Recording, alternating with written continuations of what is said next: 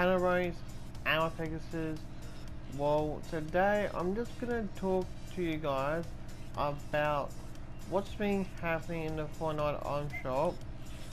Well, this is what we saw. Pretty much, it was. Where's it again?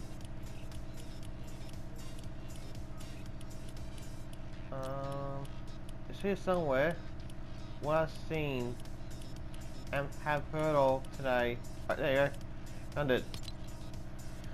Well, I'm gonna tell you guys, this came to Rocket League a long time ago, but you can see I get it for free. The reason is I brought this in Rocket League a long time ago. See, some people in Rocket League I brought it, so look, I'll show you how much it is.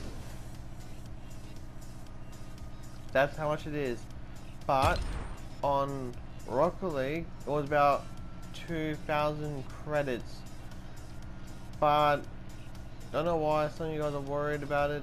But it's not really expensive or anything. But it happened a long time ago in Rocket League. But if you own it anyway, I mean, some people can get this decal for free most likely anyway. Gosh, yeah. But let's get this decal anyway.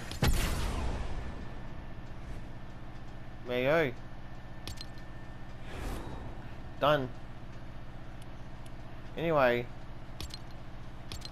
Well guys, that's what I'm normally telling you guys. Like, it's up to you. If you want to get on Rocket League instead, it's 200, it's 2k credits. It's up to you. Or, get on Fortnite, it's up to you guys or if people already own it, they get a free decal. Well, like, comment, share my videos, and have